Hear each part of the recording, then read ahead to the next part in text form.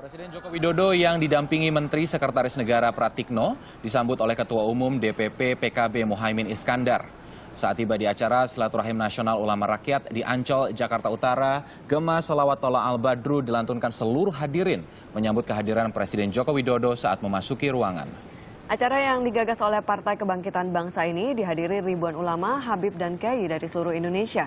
Tema acara ini doa untuk keselamatan bangsa dengan rangkaian kegiatan berdoa bersama dan tausiah.